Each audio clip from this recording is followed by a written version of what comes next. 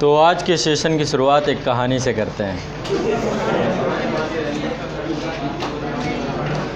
ये कहानी उन लोगों को डेडिकेटेड है, जो तैयारी करने के बाद निराश हो जाते हैं तैयारी करते करते और फाइनली निराशा इस हद तक जाती है कि छोड़ देते हैं। तो उन लोगों को कुछ हिम्मत मिल सके, कुछ आसरा मिल सके, उसको ध्यान में रखते हुए ये कहानी है। और आप सबको भी डेडिकेटेड है, चूँकि आप लोग भी तैयारी कर रहे हैं। कहानी कुछ ऐसी है। मैं जब इसको मैंने पढ़ा तो आम तौर पे एक बड़े स्तर का मोटिवेशन मुझे इसे मिला। तो मैं आप लोगों से साझा करूँ। दरअसल एक महिला थी, जिन्होंने हिम्मत की कि वो इंग्लिश चैनल को पार करेंगी। इंग्लिश चैनल समझते हैं? इंग्लिश चैनल जो है ब्रिटेन और फ्रांस के बीच में डोवर जल संधि बोलते हैं इसे। उत्तरी सागर और अटलांटिक महासागर को आपस में जोड़ता है ये। या फिर ये कहें कि दो लैंड को अलग करता है ब्रिटेन को और यूरोप के लैंड को अलग करता है। इंग्लिश चैनल ज़्यादा नहीं, बहुत सकरा क्षेत्र है और लोग इसको तैरते हैं वर्ल्ड रिकॉर्ड भी बनाते हैं कम समय में तैर करके। तो एक महिला थी और चूँकि ये पूरा जितना क्षेत्र है, ये आपका उच्च अच्छांशीय क्षेत्र में तो इस क्षेत्र में घना कोहरा भी रहता है। तो बड़ी हिम्मत करके उन्होंने डोअर जल संधि इंग्लिश चैनल पार करने का प्रयास किया कि मैं करूँगा। और प्रयास के दौरान जो है उन्होंने, दरअसल उसमें क्या होता है, एक सपोर्ट सिस्टम भी उनके साथ रहता है। जब भी कभी, जैसे आप लोगों का भी कभी विचार बने, हिम्मत बने, कुछ एडवेंचर करने का हो तो सपोर्ट सिस्टम ये रहता है कि आपके साथ एक बगल में नौका चलती है। ठीक है? और आपके बॉडी में एक रस्सी बाँध दी जाती है। आप तैरते रहते हैं, यदि आपकी हिम्मत टूट रही है तो वो क्या करते हैं, आपको खींच लेंगे। आपसे पूछ लेंगे कि, खींचे क्या? आपने कहा हाँ तो खींच लेंगे ताकि ऐसा ना हो कि लाइफ के साथ आपके किस तरह का मज़ाक ना हो जाए। तो वो बड़े गति के साथ जो है तैर रही थी और तैरते तैरते बीच बीच में हिम्मत उसकी टूटने लगी। तो दो बार उससे पूछा गया कि क्या किया जाए? खींच लिया जाए? उसने कहा, नहीं, मत खींचिए, मैं इसको कंप्लीट करूँगी। लेकिन फाइनली एक समय ऐसा है कि उसे लगा कि अब मेरी मेरी बॉडी साथ नहीं दे रही है। हो सकता है कि अब मुझसे नहीं हो पाएगा। और फाइनली उसने वोट सपोर्ट सिस्टम से कहा कि आप ऐसा करिए, मुझे खींच लीजिए। कोहरा था, सामने कुछ दिख नहीं रहा था उसे। और जब उन्होंने खींच लिया और खींचने के बाद वो चंद्र कदम आगे बढ़ी, बढ़ते ही इंग्लिश चैनल कंप्लीट हो जाना था। कितनी दूरी बची थी? मात्र 200 मीटर की दूरी बची थी। 200 मीटर की दूरी से पहले ही उसने बोला कि मुझको खींच लो। आम तौर पे होता क्या है, जब हम तैयारी करते हैं तो तैयारी के दौरान में शुरुआत में बड़ा जोश होता है और बहुत होश खरोश जोश से भागते हैं हम। ठीक है? लेकिन फाइनली अंत में होता क्या है, उसका रिजल्टेंट क्या निकलता है उस जोश का? जोश में दौड़ते दौड़ते दौड़ते दौड़ते जो जोश के थपेड़े लगते हैं, पता होता नहीं है। तैयारी के बाद ही पता चलता है कि अच्छा ये भी है, ये भी है। शुरुआत में तो कुछ नहीं लगता। और धीरे धीरे लगने लग जाता है, मुझसे नहीं हो पाएगा क्या, मुझसे नहीं हो पाएगा क्या, और फाइनली क्विट कर देते हैं कुछ लोग। या फिर मैं बहुत आसान तरीका आपको बताता हूँ। कुछ लोगों की प्रवृत्ति ऐसी होती है कि वो गड्ढा खोदना चालू करते हैं, पानी की तलाश में, और देखा यहाँ पे पानी नहीं निकला, फिर दूसरा गड्ढा खोदना चालू करते हैं, पानी की तलाश में, फिर देखा यहाँ पे जल नहीं निकला, फिर तीसरा गड्ढा खोदना चालू करते हैं, जल की तलाश में, देखा यहाँ पर भी पानी नहीं निकला चौथा गड्ढा खोदते हैं, जल की तलाश में पानी नहीं निकला। पांचवा गड्ढा खोलते हैं, जल की तलाश में पानी नहीं निकला। एक व्यक्ति था जो केवल एक ही जगह पे लगातार लगा रहता है, बस। जब तक नहीं निकलता, तब तक। है ना? और ये जल निकल आता है, या फिर कुछ लोगों की कंडीशन ऐसी भी होती है कि मात्र एक फुट और खोद देता तो भी पानी निकल आता। कुछ ऐसी कंडीशन वाले लोग भी होते हैं। तो आम तौर पे जब आप प्रिपरेशन करते हैं तो प्रिपरेशन के दौरान या कोई भी काम के दौरान, आपकी ऊर्जा ऐसा महसूस कराएगी कि शायद अब आपसे नहीं हो पाएगा और इसे क्विट कर देते हैं, छोड़ देते हैं, यार कुछ और कर लेते हैं। और फिर आप देखते हो कि आपके साथ वाला व्यक्ति जो कंटिन्यूस लगा हुआ ये मैं अपने अनुभव से बता रहा हूँ, मुझे बहुत सारे लोग आते हैं। बोलते हैं, सर, आज चालीस साल के हो गए, साथ वाले तो सब हो गए, हम रह गए। हम यहाँ लग गए, थोड़ा और लगे रहते तो साथ वालों के साथ होते हम भी। तो आम तौर पे हमारे जीवन में एक ये मोमेंट आता है, ये मोमेंटम आता है कि आपको लगने लग जाएगा कुछ समय बाद थक जाएँगे आप। आती है थकान कि नहीं आती? लगता है कहाँ चल रहे हैं, कहाँ दौड़ रहे हैं, कहाँ भाग रहे हैं? जिस स्पीड से हम चालू हुए थे, उस स्पीड से, है ना? धीरे धीरे स्पीड कम होना लाजमी है, ज़रूरी है। ऐसा थोड़ा ना कि एक ही स्पीड बनी रहेगी, एक ही ऊर्जा बनी रहेगी। तो एनर्जी कम होती है। है ना?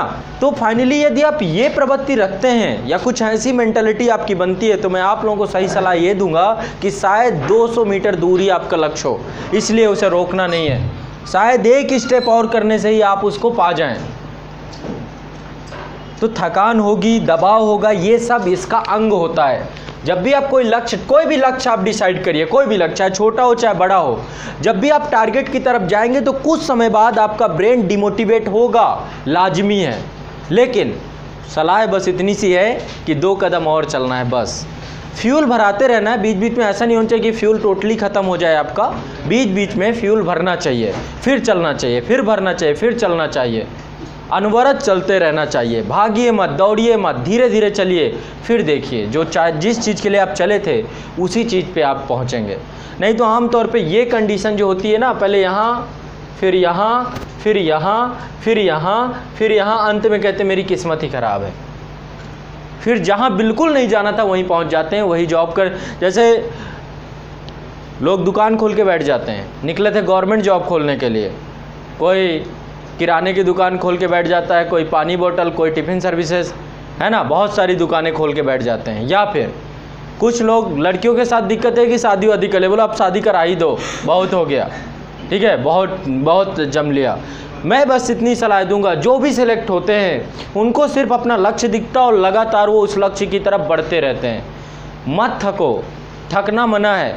अभी ये उम्र है। देखो, जो उम्र हमें मिली है, इसमें हम खूब काम कर सकते हैं। अभी यदि नहीं कर पाएँगे तो बुढ़ाते टाइम क्या होगा हमारा? क्यों अलाउद्दीन जी? सही बात है ना? तो यही मौका है, ईश्वर ने मौका दिया है, सबको निरंतर रहना है।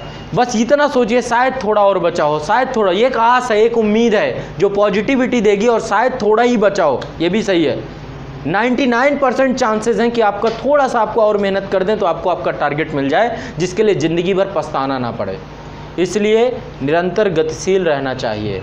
एक ही लक्ष्य की तरफ़। लक्ष्य बदलने नहीं चाहिए। एक ही लक्ष्य लीजिए, उस पर निरंतर गतिशील रहिए, पूरी शिद्दत के साथ लगे रहिए। श्रद्धा होनी चाहिए, विश्वास होना चाहिए, और फिर देखिए कैसे आपको लक्ष्य की प्राप्ति होती है। तो बहुत बड़ी चीज़ नहीं है। होता है आमतौर पे, है ना? कि मन जो है, संकुचित होता है, कभी टेंशन में आ गए, कभी लगता है, यार, क्या कर रहा हूँ मैं? आता है कि नहीं आता? मोमेंट आता है कि नहीं आता? आता है। एक दिन, ऐसा सप्ताह में तो एक दिन होता ही होता है। इस तरह के विचार उनके साथ ज़्यादा आते हैं, जो अपने लक्ष्य के प्रति वर्क भी अच्छे से नहीं कर रहे होते, वो और भी परेशान हो जाते हैं। जो रेगुलर बेस पे काम कर रहा होता है उसे ज़्यादा दिक्कत नहीं होती, उसे बहुत कॉन्फिडेंस होता है अपने काम पे। उसे लगता है कि हाँ अरे कोई दिक्कत नहीं, हो ही जाएगा। जो काम रेगुलर कर नहीं रहा होता, उसके साथ और प्रॉब्लम होती है। वो बिल्कुल टेंशन लगातार उसे लगता रहता है। तो दो चीज़ें हैं। यदि कभी ऐसा लगता है तो पहले एक बार देख लेना है कि क्या मैं अपने काम को ईमानदारी से कर रहा हूँ। यदि कर रहा हूँ तो कोई दिक्कत नहीं, बस निरंतर रहना है, बस। ठीक है? तो बस इतनी सी थी ये कहानी और कुछ नहीं। इसको यदि समझ पाएँगे, इसके मर्म को समझ पाएँगे तो वास्तव में आपको बहुत ऊर्जा मिलेगी। हमें निरंतर रहना चाहिए, एक ही लक्ष्य के प्रति। फिर मिलता है। जो चाहिए वो मिलता है। जो चाहिए आपको वो मिलता है। बता रहे, सिद्ध हो जाती है चीज़। आप देखते हैं बुद्धा बुद्धा की कहानी से आप सीखो तो बुद्धा की कहानी से मुझे सिर्फ़ एक चीज़ देखने को मिलती है। वो बंदा निरंतर रहा कंटिन्यूस रहा और तब तक रहा जब तक उसे ज्ञान की प्राप्ति नहीं हो गई। महावीर तब तक निरंतर रहे जब तक उन्हें ज्ञान की प्राप्ति नहीं हो गई। बुद्धा ने तो जगह भी नहीं चेंज की। एक ही जगह, एक ही वृक्ष के नीचे बैठ करके डेली तप करते थे। आप ऋषि मुनियों, साधु संत या फिर कोई जो अनुष्ठान करने वाला व्यक्ति होता है, घर में पूजा ग्रह एक ही जगह क्यों बनाया जाता है? उसका एक मीनिंग होता है। ऐसा नहीं होता कि आज पूजा ग्रह यहाँ है, कल वहाँ है, अगले दिन वहाँ है। उसका मीनिंग ये होता है कि वो एक ऐसी जगह होती है जहाँ पर आप बैठ के साधना करते हो, आराधना करते हो। इसलिए वो जगह सिद्ध हो जाती है। आमतौर पर एक चीज़ और बताऊँ, आप लोग की मैंटेलिटी हमारी मैंटेलिटी होती है जो पर्सन आमतौर पर आप लोग के यहाँ पर सीटें भी फिक्स हैं। बहुत रेयर होता है। अब तो ये सिस्टम हो गया कि कोई कहीं भी बैठ रहा है, लेकिन आमतौर पे हमारी सीटें भी फिक्स होती हैं। ये हमारा मेंटेलिटी मेंटल लेवल वर्क करता है। हम जहाँ पे पहले दिन आके बैठे थे, आमतौर पे 99 परसेंट केस में ये होता है कि वो बंदा भी वहीं पे बैठा मिलता है। वही जगह उसकी फिक्स हो जाती है। क्यों? साधना। साधना यदि एक जगह पर बैठ के की जाए, एक दिशा में की जाए, एक उद्देश्य से की जाए, एक लक्ष्य के लिए की जाए तो वो सिद्ध हो जाती है। यदि आप जगह बदलते रहेंगे स्पेस बदलते रहेंगे तो अपनी अपनी कुर्सी बरकरार रखो। उसका भी बेनिफिट है। जो कि वहाँ पे जो ओरा है, जो आपकी, आपका जो पॉजिटिविटी है, मान लो उस जगह पे कल के दिन कोई और बैठ गया, उसकी निगेटिविटी भर गई उस जगह पे। फिर क्या होगा? वो आपको भी निगेटिव कर देगा निगेटिवली चार्ज कर देगा। इसलिए जहाँ पे आप पढ़ते हो, कोशिश करो, ये सब चीज़ें निश्चित हो, समय निश्चित हो पढ़ने का। इसीलिए टाइम टेबल बनाया जाता है। दिनचर्या का महत्व क्या है? आपका हर काम निश्चित है। वो समय सिद्ध हो जाता है। और उस काम में आप जो भी वर्क करते हो, आपको उस चीज़, ऐसा नहीं कि आज कुछ और, कल कुछ और, परसों कुछ और फिक्स हो जाइए एक चीज़ में। फिर देखिए कैसे आपको चीज़ें आसान हो जाती हैं। हर चीज़ आपको आसान लगेगी। कोई बहुत कठिन नहीं है, कोई बहुत बड़ा आप काम नहीं करने जा रहे हो। हम सिर्फ़ पढ़ रहे हैं, बस। पढ़ने के बाद एक मानक है, मानकों में एग्ज़ाम देना है, यदि आप खड़े उतर गए तो आप सेलेक्ट हो जाओगे। इसको बहुत बड़ी कहानी नहीं क्रिएट करनी है।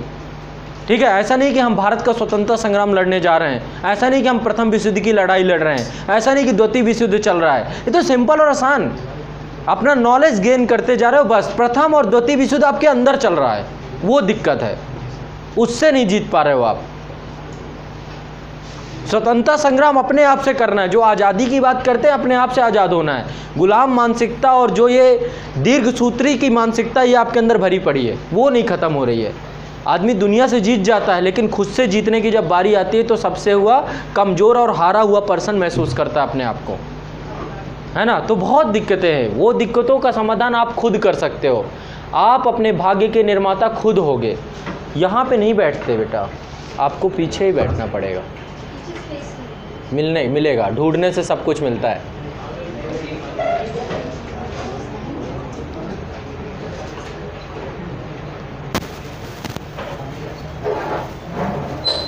चलिए ठीक है फिर। सेशन शुरू किया जाए। आज मुझे आप लोगों को आर्ट एंड कल्चर पढ़ाना है।